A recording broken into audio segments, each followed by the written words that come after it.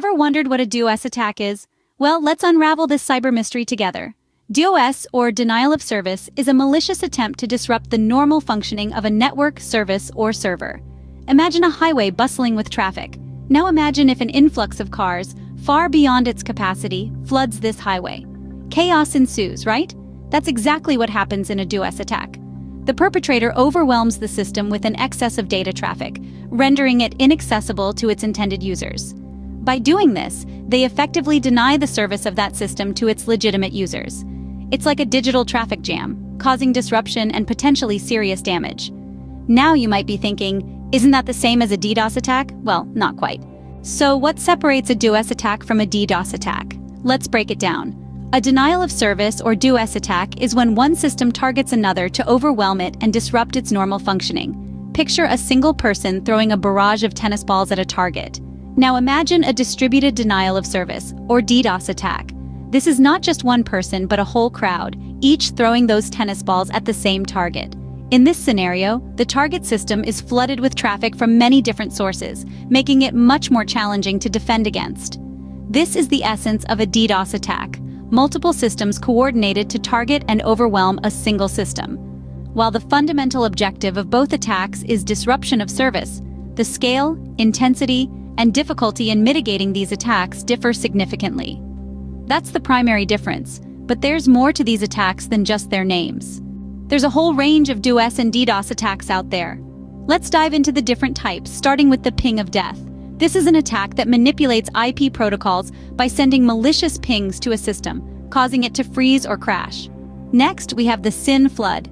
This type of attack exploits a vulnerability in the TCP connection sequence, commonly known as the three-way handshake. The attacker sends numerous SYN requests to a victim's system, but intentionally does not respond to the system's SYN-ACK responses, overwhelming the system and rendering it unresponsive. Buffer overflow attacks are another type to be aware of. Here, the attacker sends more data than the buffer can handle, causing the excess data to overflow. This overflow can corrupt or overwrite valid data, or even execute malicious commands. Then we have Slow Loris. This sly attack aims to keep as many connections to the target web server open for as long as possible. It accomplishes this by continuously sending partial HTTP requests, eventually leading to the exhaustion of simultaneous connections, and consequently, a server outage. We also have what's called a teardrop attack. In this type, the attacker's goal is to disrupt the reassembly of data packets. They send mangled IP fragments with overlapping and oversized payloads to the target machine, the victim system tries to reconstruct these packets but ultimately fails, leading to a system crash. Flooding attack, another common one, overwhelms the victim's network with a deluge of packets, consuming bandwidth and resources until the system becomes inaccessible. The IP fragmentation attack is similar to the teardrop attack, but the attacker exploits the way the victim system handles fragmented IP packets. A volumetric attack, as the name suggests, involves the attacker overwhelming the victim's bandwidth with a high volume of data, rendering the network unusable. Protocol attacks consume all the processing capacity of the victim's system or network resources, while application-based attacks target the layer where web pages are generated on the server and delivered in response to HTTP requests. Understanding these attacks is the first step to preventing them. But why would someone launch a DOS or DDoS attack in the first place? Well, the motives behind these attacks are as varied as they are troubling. One of the most common reasons is competition. In the business world, for example, a company might employ these tactics to knock a rival's website offline, gaining a competitive edge. By flooding the competitor's server with traffic, potential customers are unable to access their website, leading to potential revenue loss. Revenge is another motive. Disgruntled employees, upset customers, or even jilted lovers have been known to use DOS and DDoS attacks as a form of digital retribution. The perpetrator's goal here is not monetary or competitive gain, but rather the satisfaction of seeing their target suffer. Then there are those who launch these attacks simply to cause chaos. These are often the work of so-called hacktivists, individuals or groups who use hacking as a form of protest or to make a political statement. By disrupting services, they draw attention to their cause, but the motives don't end there. Some attackers use DOS and DDoS attacks as a smokescreen to distract IT teams while they carry out other malicious activities. While the team is focused on getting the network back online, the attacker can quietly infiltrate the system, stealing sensitive data or installing malware. Finally, there are those who carry out these attacks simply for the thrill of it. Known as script kiddies, these are often young, novice hackers who use pre-written scripts or toolkits to launch attacks, reveling in the power they wield over their victims. Understanding these motives is not just an academic exercise, it's a crucial part of defending against these attacks. When we know why these attacks happen, we can better anticipate them and put measures in place to mitigate their impact. Knowing why these attacks happen can help us prepare for and prevent them. And that's exactly what we'll be looking at in our next segment, so stay tuned.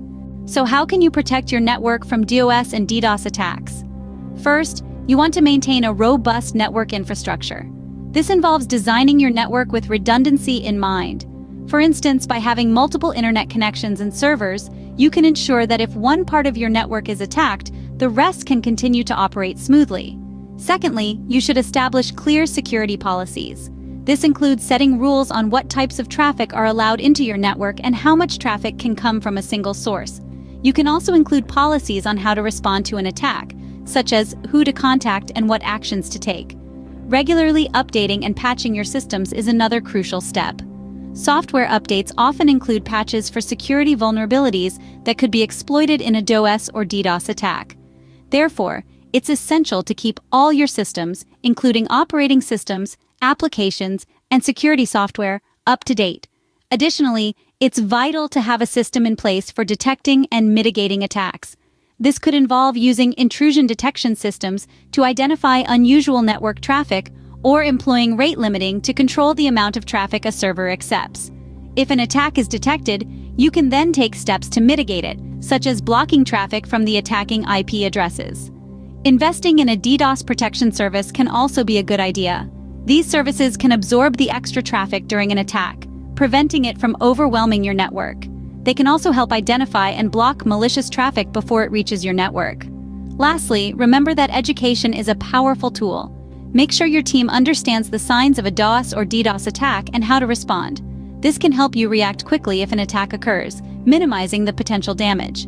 In conclusion, preventing DOS and DDoS attacks involves a combination of robust network design, clear security policies, regular system updates, and ongoing vigilance. It's about being proactive and taking steps to protect your network before an attack occurs. Remember, the best defense is a good offense. Let's wrap it up, shall we? We've journeyed into the complex world of denial of service or DOS attacks and distributed denial of service, known as DDoS attacks.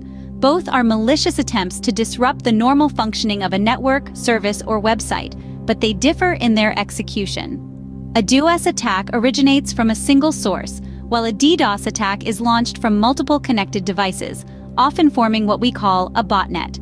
We've explored the various types of these attacks, each with its unique modus operandi. From the ping of death or ICMP flood, which overwhelms a system with ICMP packets, to the SYN flood that exploits the handshake process of a TCP connection. Buffer overflow attacks, on the other hand, overload a system's memory with excessive data, while Slow Loris holds connections open by sending partial HTTP requests. Teardrop attacks involve sending mangled IP fragments with overlapping, oversized payloads to crash systems. Then there's the flooding attack, aiming to saturate bandwidth with bogus data, as well as the IP fragmentation attack, which splits malicious packets to evade detection. The volumetric attack overwhelms a network's bandwidth, while the protocol attack consumes actual server resources. Lastly, an application-based attack targets the layer where web pages are generated in response to HTTP requests. But why are these attacks carried out? A variety of motives exist, from competitive business tactics, revenge and activism, to simple thrill-seeking. Cybersecurity isn't just about defense, understanding the attacker's mindset is a key part of the strategy. Fortunately, there are ways to guard against these attacks. Implementing security measures such as firewalls, intrusion detection systems, and traffic analysis solutions can help. Regular system updates, network segmentation, and creating a response plan are also crucial steps in protecting your network. Stay vigilant, stay informed, and you can keep your network safe from these attacks. Until next time, stay safe out there.